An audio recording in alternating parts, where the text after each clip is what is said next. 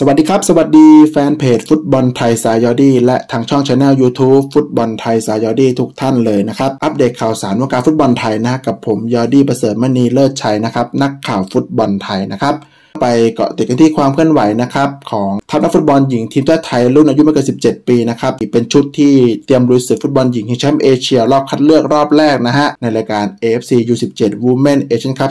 2024 รอบ qualify นะครับโดยจะแข่งขันระหว่างวันที่ 27 เมษายน ถึง 1 พฤษภาคม 2566 นะฮะที่สนามบุรีรัมย์ซิตี้สเตเดียมจังหวัดบุรีรัมย์นะครับซึ่งก็มีการประกาศรายชื่อ ออกมาเป็นที่เรียบร้อยทั้งหมด 23 คนนะครับไปไล่เรียงกันเลยนะครับ นางสาวอธิมาบุญประกันภัยครับสโมสรสุรินทร์หินโคนยูไนเต็ดเด็กหญิงพิมพ์ละพัฒน์อี้วงครับสโมสรฟุตบอลหญิงพระนคร นางสาวอชิรยายิ่งสกุลสโมสรฟุตบอลหญิงพระนคร นางสาวมนตการกงเม่งสโมสรโรงเรียนกีฬาจังหวัดนครศรีธรรมราช นางสาว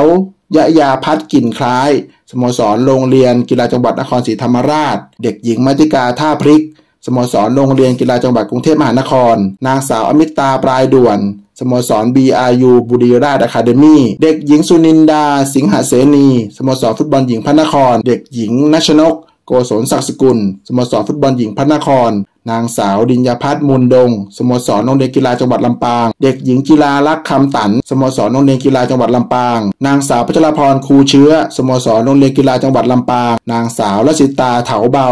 สโมสรโรงเรียนกีฬาจังหวัดชลบุรี นางสาวจุไลพรใจมูลวงสโมสรโรงเรียนกีฬาจังหวัดชลบุรี เด็กหญิงนภัสวรรณสืบสวนสโมสรโรงเรียนกีฬาจังหวัดชลบุรี นางสาวสัสิเหล็กเพชรสโมสรโรงเรียนกีฬาจังหวัดชลบุรี เด็กหญิงอัญชิตถาหอมตะโก สโมสรโรงเรียนกีฬาจังหวัดชลบุรี เด็กหญิงเบญจภาสิงใส สโมสรโรงเรียนกีฬาจังหวัดชลบุรี นางสาวลัคนาจิตเที่ยง สโมสรโรงเรียนเฉลิมพระเกียรติ สมเด็จพระศรีนครินทร์สมุทรสาคร นางสาวเมดิสัน เจสแคสตีน สโมสรนอร์ทแคโรไลนาฟิวชั่น นางสาวสิริวิมลมุกดาสกุลพิบาล สโมสรโรงเรียนกีฬาจังหวัดนครศรีธรรมราช นางสาวมานิตาน้อยเวสโมสรโรงเรียนกีฬาจังหวัดชลบุรี เด็กหญิงปีชากร เครือชื่นชม สโมสรโรงเรียนกีฬาจังหวัดชลบุรีสำหรับการแข่งขันฟุตบอลหญิงชิงแชมป์เอเชีย รุ่นอายุไม่เกิน 17 ปี รอบคัดเลือก ทีมชาติไทยอยู่กลุ่ม A โดยมีโปรแกรมแข่งขันดังนี้ ในวันที่ 26 เมษายน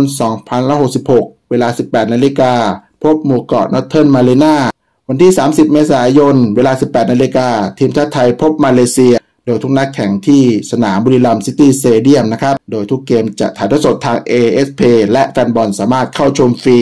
ซึ่งในการแข่งขันรายการนี้จะนำแชมป์กลุ่มเพียงแค่ทีมเดียวครับ ผ่านเข้ารอบคัดเลือกรอบต่อไปสำหรับวันนี้ขอขอบคุณทุกการติดตามรับชมรับฟังเหมือนเช่นเคย พบกันใหม่ในโอกาสต่อไป ฟุตบอลไทยสายยอดี สวัสดีครับ